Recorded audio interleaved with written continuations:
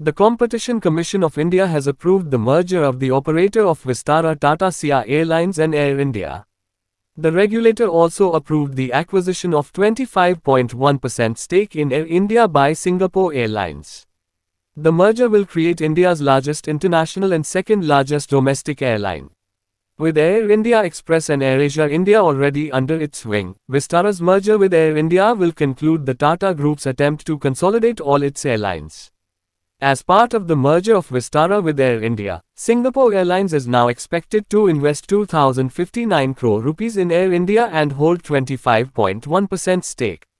In terms of market share, a combined Air India will be second only to Indigo Airlines in the domestic market.